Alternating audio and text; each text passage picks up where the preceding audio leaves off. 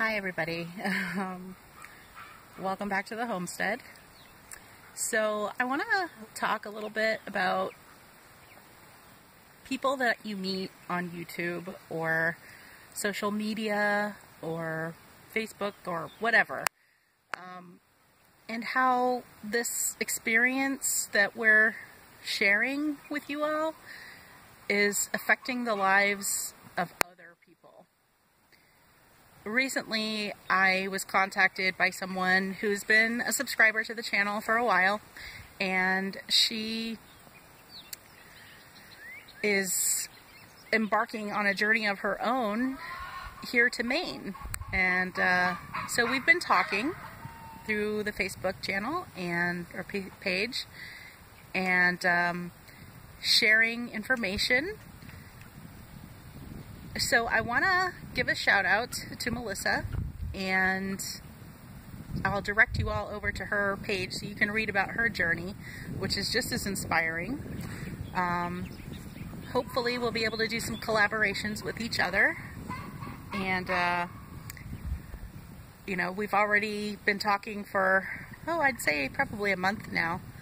And it's been great. So I'm really excited to meet her in person for the first time and uh, share knowledge.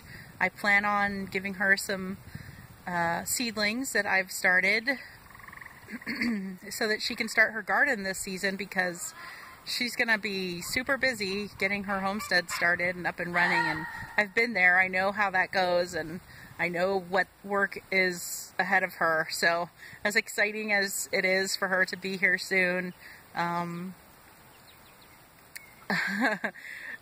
I know that it's a lot of hard work and I know she's really excited to get here and uh, start that hard work. There's no amount of preparation that you can do to prepare you for what it entails to be a homesteader, to do the hard work, because it is a lot of hard work. Do not kid yourself.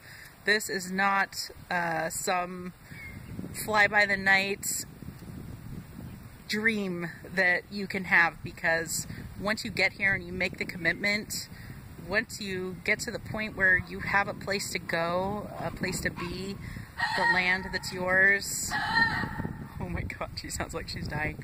Um, once you get there, you can't, you know, you can either just do it, you're all in. Be all in.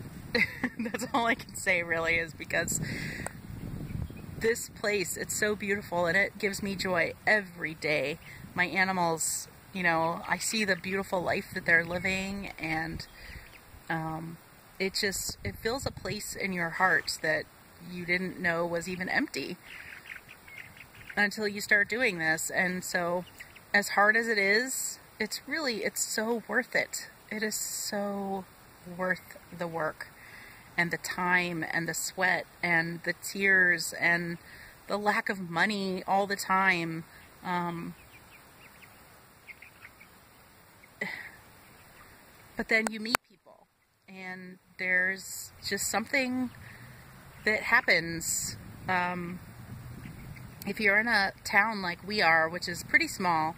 It's a college town, um, less than 5,000 people.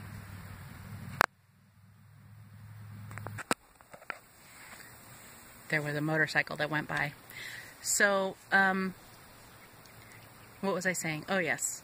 Less than 5,000 people. So, it's a pretty tight knit community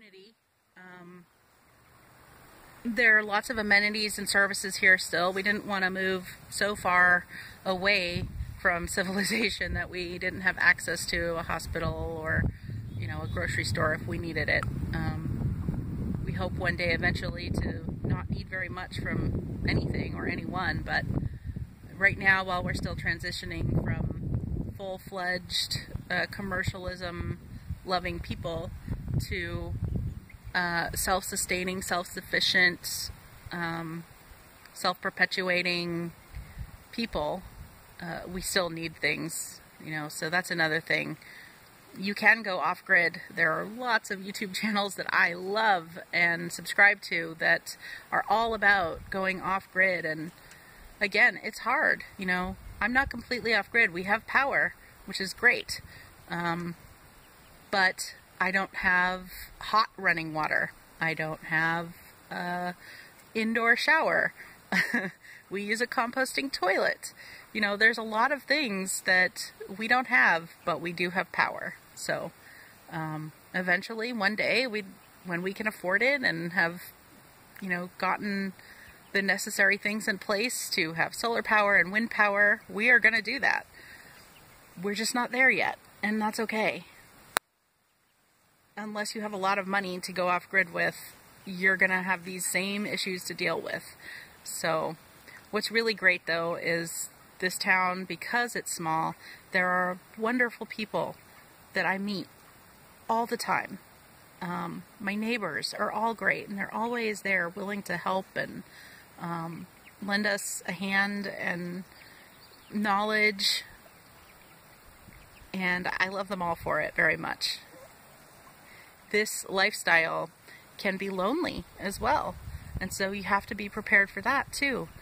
It's it's it's isolating at times, especially if you're on your own. Um, so, you know, I I I always joke that you know if Gary dies or if I were to die, would we stay? Would we continue to do this? Because it would be so hard to do it without a partner. Um, or children or family or friends around. So, wherever you go, choose the community. Don't just choose the place because you're going to need to depend on people for a lot of things, especially in the beginning. Um, and if you're anything like me or other homesteaders that I've met, you're not just doing this to take care of yourself, you're doing it to take care of your community and your family and um, the environment, uh, for your health, and you want to help people too. You don't, you know, you're not a selfish person. So, all that being said, I wanted to introduce you to Melissa, which was my main goal of this video, which, by the way, first video blog. uh, I hope you guys like it, and if you do, give me a thumbs up and uh, let me know down in the comments if you want to see more of these. Alright guys, bye from the homestead.